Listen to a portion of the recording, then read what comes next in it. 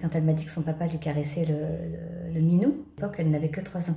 Et je revois encore ma petite qui, de sa main droite, qui, qui se caresse de, de façon, de façon euh, horizontale euh, le sexe. Quoi. Je n'ai pas vu ma fille, qui a eu 7 ans cette année, depuis le 1er juin 2021. Que je suis loin d'être un cas isolé. Je suis Gladys de Je défends mon enfant. Euh, ma fille m'a fait des révélations d'inceste en 2018. J'ai donc porté plainte euh, le lendemain. Comme euh, 70% euh, des, dossiers, ça a été classé sans suite en octobre 2019. Et comme je n'ai pas été prise au sérieux, je suis partie en mars 2020 en Espagne pour protéger ma fille, la mettre en sécurité. Je cherche à bien à dire que je n'ai pas fui, puisqu'à l'époque, j'avais toujours l'autorité principale. Euh, et monsieur euh, n'avait même pas de droit de garde et d'hébergement, il n'avait que des visites médiatisées. Et quand je suis arrivée en Espagne, euh, je suis allée me recenser, informer l'ambassade française, aller voir des, des avocats espagnols, scolariser ma fille. Enfin voilà, j'ai fait les choses normales. Malheureusement, euh, à partir du 1er juin euh, 2021, on m'a arrêtée en Espagne et on m'a mis en détention provisoire, c'est-à-dire que j'ai été incarcérée avant euh, tout jugement, malgré que j'ai un casier judiciaire vierge.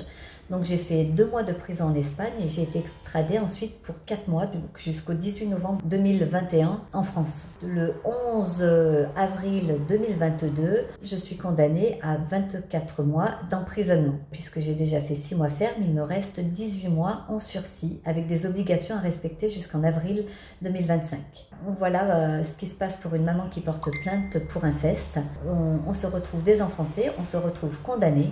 Et euh, il faut savoir que moi, je n'ai pas vu ma fille, qui a eu 7 ans cette année, depuis le 1er juin 2021. Que je suis loin d'être un cas isolé. Je suis en contact avec euh, Sandrine Vol.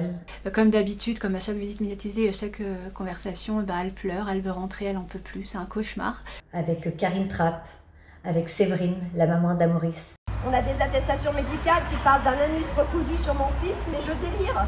avec euh, Linda de Montpellier. J'ai aussi soutenu euh, Fanny Berenban de L'enfant à parler. J'ai plein d'autres mamans, et, euh, excusez-moi de ne pas donner vo- votre nom, et nous faisons appel à, à- à vous, citoyens, pour, euh, pour se faire entendre et, et pour, et pour protéger nos enfants. Merci bien, au revoir.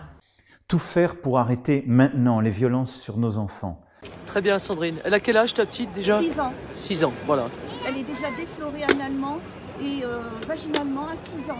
On est là, on vous écoute, on vous croit, et vous ne serez plus jamais seul. Allô? Oui, bonjour Monsieur Kant. Oui, Excusez-moi de vous déranger, c'est Madame Awanto. comment allez-vous? Bon, ça va, ça va, je me fais Ça des va soucis pour ma fille surtout. hein. Eh oui.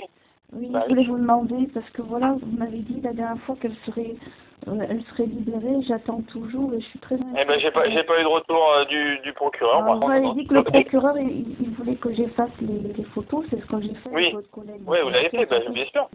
Ces témoignages, ces paroles, parfois ces cris, plus personne ne peut les ignorer. La honte aujourd'hui change de camp. D'un anus recousu sur mon fils, mais je délire. Les pédophiles